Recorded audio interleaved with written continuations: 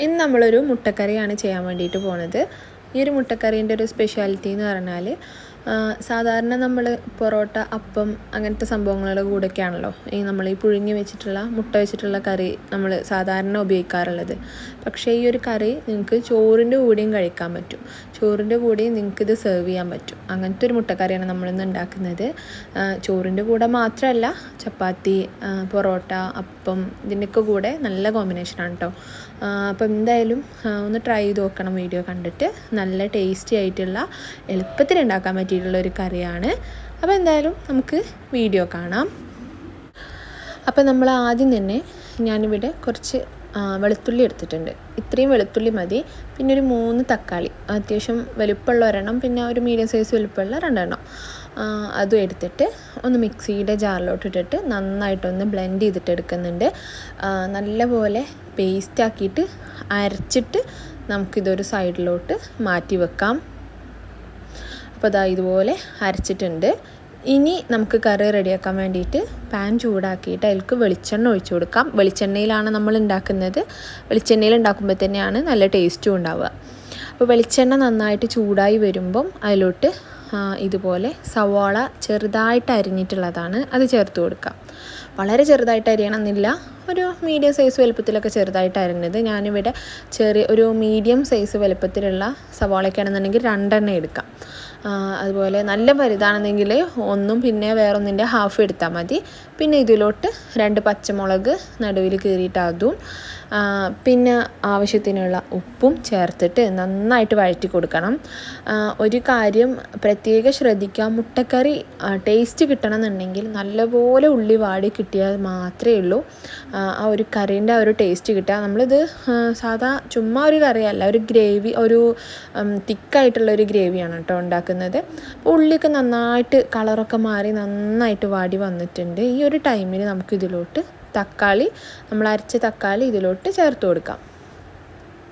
അപ്പോൾ തക്കാളിയൊക്കെ ചേർത്തിട്ട് നല്ലപോലെ മിക്സ് ചെയ്തതിന് ശേഷം നമുക്ക് ച തക്കാളീന്റെ ആ നീരൊക്കെ നല്ലപോലെ ഒന്ന് വലിഞ്ഞ് എണ്ണയൊക്കെ ഒന്ന് തെളിഞ്ഞ് വരണം.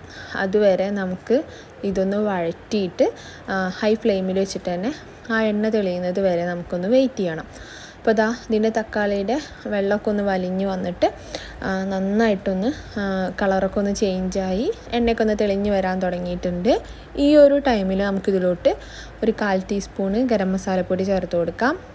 പിന്നെ നമുക്ക് ഒരു ടീസ്പൂണ് മുളക് പൊടി ചേർത്ത് കൊടുക്കാം. ഞാനിവിടെ കാശ്മീരി ചില്ലി പൗഡറാണ് എടുത്തിട്ടുള്ളത് അത് ചേർത്ത് കൊടുക്കാം. പിന്നെ നമുക്കിതിലോട്ട് ഒരു അര സാദാ മുളക് പൊടി കൂടി ചേർക്കുന്നുണ്ട്. അപ്പം ഇത്രയൊക്കെ ചേർത്താൽ തന്നെ അത്യാവശ്യം നല്ല എരിവുണ്ടാവും. പിന്നെ ഓരോരുത്തരുടെ ടേസ്റ്റ് അനുസരിച്ചിട്ട് കുറയ്ക്കുക കൂട്ടുകയൊക്കെ ചെയ്യാം. പിന്നെ ഇതിലോട്ടൊരു കാൽ ടീസ്പൂൺ മഞ്ഞൾപ്പൊടി കൂടി ചേർത്ത് കൊടുക്കുന്നുണ്ട്. അപ്പോൾ ഞാൻ പറഞ്ഞല്ലോ ഇതൊരു തിക്കായിട്ടുള്ള ഒരു ഗ്രേവി ടൈപ്പാണ് അപ്പോൾ അതുകൊണ്ട് തന്നെ വളരെ കുറച്ച് പൊടികൾ ചേർത്താൽ മതി. മല്ലിപ്പൊടി നമുക്ക് ചേർക്കേണ്ടതാനും അപ്പോൾ നല്ല കറിയൊക്കെ ആക്കുകയാണെങ്കിൽ നമ്മൾ ഈ ഇതുപോലെ ചെയ്യുമ്പോൾ ഇങ്ങനെ തിക്കായിട്ടുള്ള കറിയാണ് ടേസ്റ്റ് ഉണ്ടാവുക. ഇതുപോലെ നന്നായിട്ടൊന്ന് മിക്സ് ചെയ്ത് കൊടുക്കാം. അപ്പോൾ നല്ലോണം കറി വേണ്ടവർക്ക് കൂടുതൽ മസാലപ്പൊടിയൊക്കെ ഇട്ട് ചെയ്യാം കേട്ടോ അപ്പോൾ ദാ ഇതുപോലെ നന്നായിട്ടൊന്ന് മിക്സ് ചെയ്തെടുത്തിട്ടുണ്ട്. ഇനി ഇതിന്റെ എണ്ണയ്ക്ക് ഒന്ന് തെളിഞ്ഞ് വരുന്നത് വരെ വെയിറ്റ് ചെയ്തിട്ട് ആ ഒരു തെളിഞ്ഞ് വരുന്ന സമയത്ത് മാത്രം കുറച്ച് വെള്ളം ഒഴിച്ചു കൊടുക്കുക. നല്ല പോലെ പൊടിയൊക്കെ ഒന്ന് വാടിയതിന് ശേഷം മാത്രമേ ഉള്ളൂ കേട്ടോ വെള്ളം ഒഴിക്കാൻ പാടുള്ളൂ. ഇട്ട പാട് ഇളക്കി കൊടുത്തിട്ട് നമ്മൾ വെള്ളം ഒഴിച്ചിട്ടുണ്ടെങ്കിൽ ടേസ്റ്റ് ഉണ്ടാവില്ല.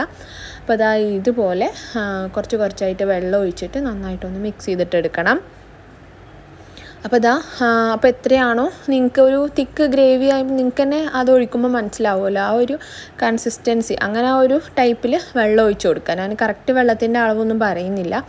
ഇതുപോലെ നന്നായിട്ടൊന്ന് കറി തിളക്കുന്ന സമയത്ത് ഇതിലേക്ക് പുഴുങ്ങി വെച്ചിട്ടുള്ള മുട്ട ഇതുപോലെ ഒന്ന് വരഞ്ഞു കൊടുത്തിട്ടാണ് ഞാൻ ഇട്ട് കൊടുക്കുന്നത്. വരഞ്ഞു കൊടുത്തതിന് ശേഷം നമുക്ക് നമ്മുടെ കറിയിലോട്ട് ഇട്ടിട്ട് ഇതൊന്ന് ഇളക്കി കൊടുക്കാം. അപ്പോൾ അതിനകത്തൊക്കെ നമ്മളിപ്പോൾ ഇങ്ങനെ വരയിടുമ്പം ചെറുതായിട്ടെങ്കിലും അതിനകത്ത് അതിന്റെ ആ ഒരു ആ ഒരു ഫ്ലേവറൊക്കെ പിടിച്ചോളും. ഒരു ഇച്ചിരി സമയം ഇട്ട് ഉണ്ടാക്കിയിട്ട് ഒരു കുറച്ച് സമയം കഴിഞ്ഞിട്ട് കഴിക്കുമ്പോഴാണ് അതിന്റെ ഒരു പ്രത്യേക ടേസ്റ്റ് കിട്ടുക കേട്ടോ. അപ്പോൾ അതുപോലെ മിക്സ് ചെയ്ത് കൊടുക്കാം. എന്നിട്ട് ഒന്നുകൂടെ ഒന്ന് തിള പോലെ തിള വന്നു കഴിയുമ്പോൾ നമുക്ക് ഫ്ലെയിം ഓഫ് ചെയ്യാം.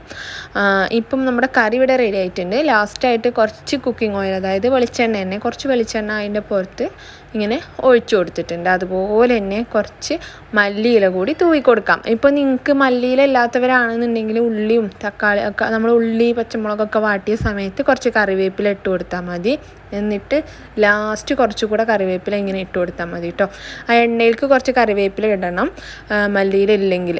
അപ്പോൾ അതാ നമ്മുടെ വളരെ ടേസ്റ്റി ആയിട്ടുള്ള എളുപ്പത്തിലുള്ള മുട്ടക്കറി ഇവിടെ റെഡി ആയിട്ടുണ്ട്. അപ്പോൾ ഈ ഒരു ഗ്രേവി ടൈപ്പിലുള്ള ഈ ഒരു കറി നിങ്ങൾ ഇതുവരെ ട്രൈ ചെയ്തിട്ടില്ലെങ്കിൽ ഒന്ന് ട്രൈ ചെയ്ത് നോക്കുക. ഇഷ്ടപ്പെട്ടാൽ ലൈക്ക് ചെയ്യാനും ഷെയർ ചെയ്യാനും ഒന്നും മറക്കരുത്. അപ്പോൾ നമുക്കടുത്ത നല്ലൊരു വീഡിയോ ആയിട്ട് കാണാം ഇൻഷാ അള്ളാ. താങ്ക്